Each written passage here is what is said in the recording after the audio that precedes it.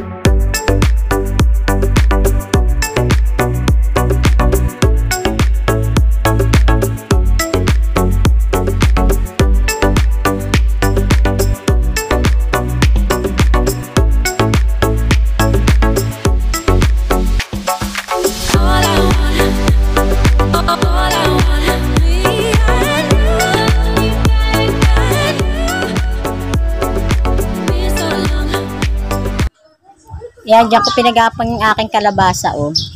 Kaya, kasi nga, hahaba pa yan. Ayan, kaya pinagapang ko na siya dyan sa aming bakod. Yan. Kasi parang magbubunga na siya, magkakaroon na siya ng bulaklak. At yung ampalaya ko, ayun. May ampalaya ko dito, ayan, oh. Ayan yung aking ampalaya. Ayan, umano na sa alatere, sa akin eh, ililipat din yan. Para pagbubunga niya eh, maging maayos yung kanyang ah, pagbubunga. Payat nga eh, oh. Hindi ko kasi nalalagyan ng ano yan, ng fertilizer. Yan. Pero gumagawa na nga ako ng ano, pampataba. Yung dumi ng manok. Yan. Ito yung aking labanos. Ayan. Tingnan nyo kati Bamers yung aking mga labanos. Ayan. Medyo parang payat siya kasi hindi ko na ito naalagaan. May pinuntahan kasi ako at medyo natagalan ako ng pag-uwi. Ayan. Ang dami kaya niyan. Ang dami kong uh, bininhi dyan. Pero ilan lang yung tumubo. Ayan. Oh. Parang payat pati kasi nga hindi ko nalaglagyan to ng ano, fertilizer. Eh, baka sa isang araw, akin mo nang yung dumi ng manok ang ilalagay ko dyan. Ayan. At yun nga, siguro wala pang ang bunga yan kasi nakikita ko doon sa mga pinakikita tungkol sa laban kasi lumalabas yung kanyang laman sa lupa. Siguro wala pa yung uh, laman. Ito naman, yung bawang, ayan, bawang yan, tinanim niya ng kapatid ko. Nilagay dyan sa aking uh, labanos. Ayan. Hindi nalagyan kasi ng lupa, yung papayat. Eh. Dapat ito na tayo napabayaan eh. Dapat simula dito sa baba. Lalagyan natin ng lupa. Habang lumalaki yan, pupunuin ng lupa ito eh. Para dumami ang bunga nito eh.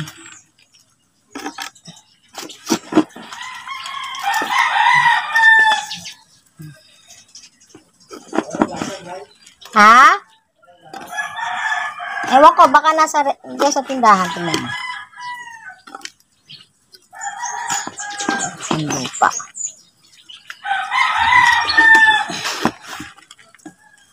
Sayang ko.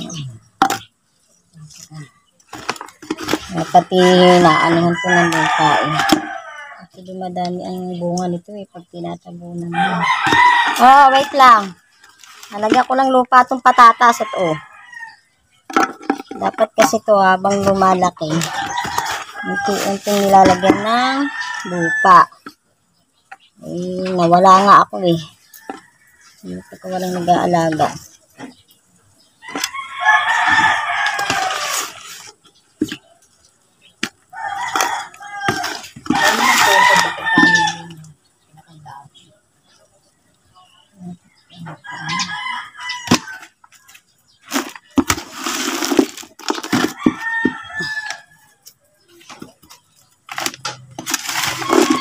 Binat naka, ano ng patatas, ay napabayaan naman. Mm. Napabayaan naman. Hirap kaya magbuhay din ng patatas. Okay, okay, okay, okay. Pabuhay naman siya. Malutong ang kanyang puno? Ha? Malutong ang puno niya? Hindi siguro to. Okay na yun. Mayaman na. Ko ayusin ko. Ah. Nalagyan ko ng tali ko. Lagyan mo ng ano, pat patalin.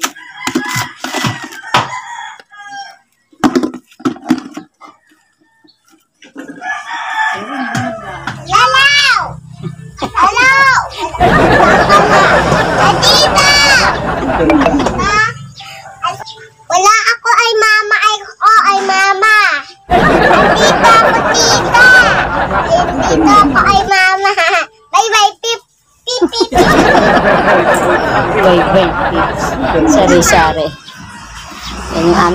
ulam mamayang tanghalian.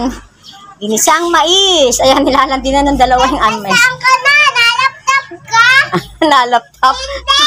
Sari-sari itong mga bata nito. Ikaw ka, mama, eh? Am, am, am, am. Mais! Name, sabihin mo, mais! Name! Name! Saan ka na? Andito. Yung gunting na hawak? Andito ako ay mama. Andi ako. Andito ako kay tita. Ay tita Deb. Ako ay mama. Napicture ako. Nasaan ang telepon mo?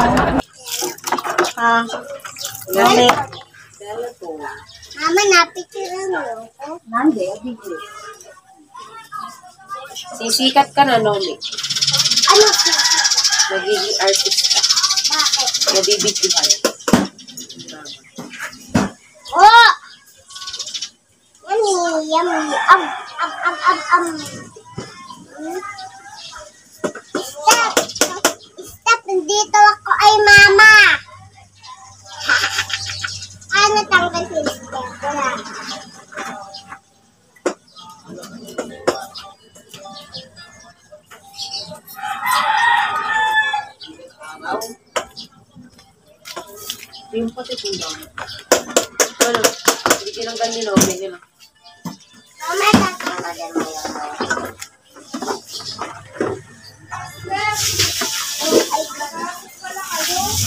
Wala daw. Sabi ng ma'am niya eh, kasi gagamitin daw yung ano.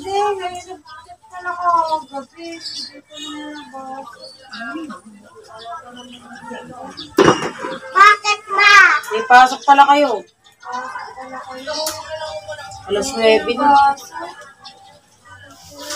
Pero pala, Edad at tanggal niya. Kay ate, alin na tatanggalin? Step, si ate, step, magaling magtanggalin. Dito to. Dito to. Dito to lalas. Pagdudumihan. Yan, naligo na ako kasi mamaya may pupuntahan pa akong ate banners tapos pag uwi ko, magluluto pa ako ng ulam. Yan. Kaya nagligo na ako para yung trabaho natin eh mabawas-bawasan na. Kasi kung mamaya pa ako maliligo tapos magluluto pa ako ng ulam, eh medyo tatanghaliin na ako sa pagligo. Kaya mupulbo muna ako. Mupulbo muna tayo. Mga sakaling tayo pumuti.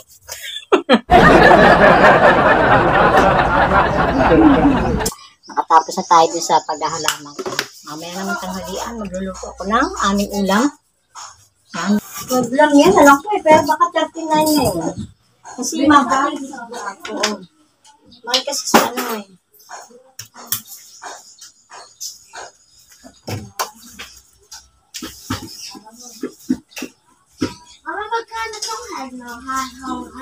Piso. Kumuha ka. Tapos talagay mo yung bayad. Saka, pag kumuha, magbayad. Sasain pa na muna ako bago ako pumunta sa card.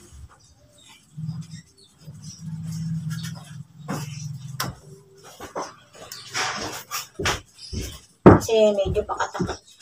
Oh, lumaga pa naman. May 10.30, mga 10.30 pa. Yan, ito yung aming uulamin mamayang tanghalian. Natapos na rin. Medyo matagal din magpilir ha. Ayan, igigisa ko yan mamaya tapos lalagyan ko ng dahon ng sili. Ayan, yung iba nilalagay dahon ng malunggay. Pero ako dahon ng sili kasi tama, mas masustansya nga yung malunggay pero mas malasa naman yung dahon ng sili. Kaya dahon ng sili ang nilalagay ko pag nagigisa ko ng mais. Anong tawag dito? May ano pa? Pizza, Jen. Pizza. Papakainin ko muna si Chaleni. Ha? Ayaw, papakainin ko muna si Chaleni. Yan, dali. Papakainin si Chaleni. Chaleni. Naku, gutom na gutom na naman ang aking Chaleni na to. Ayan. Yan, si Chaleni. Yan ang aming alagang manok. Yan. Alam niyo ba kung bakit tinawag na Chaleni yan? Kasi, nang nabili ng aking manugang yan, ah doon sa mga nagagala, wari ko mag, magti-trekings nini o trekings dito. Yan. Kulay pink yung kanyang balahibo, kaya tinawag namin siyang lalaki. Ay, lalaki. Tinawag namin siyang Chaleni. Eh, hindi namin alam yung kanyang kasarian, yan pala ay lalaki. hindi namin pinagaganda ng pangalan ng Chaleni. Ayan. Kaya yan ay si Chaleni na lalaki. Chaleni lalaki. Ayan. Ito ka ata. Kawi, kanina napakain ko na yan. Hmm. Sige, ito ka. Hmm. Gutom na gutom at napakapihikan pa niya na hindi yan nakain ng kanin. Kahapon ay maghapon talagang hindi yan kumain. Nilagyan ko yan ng kanin. Abay na. Ay hindi talaga kinain. Pasa mamatay siya sa gutom. Kaya nakabili ako ng kanyang pagkain. At ayan na nga, abay na eh. Pagkalagay ko kahapon ay talaga namang aba, said.